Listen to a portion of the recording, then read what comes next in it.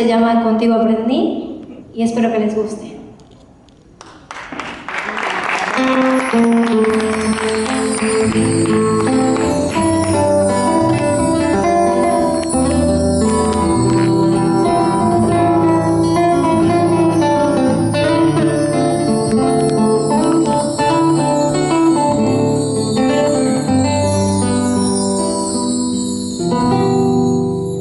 Aprendí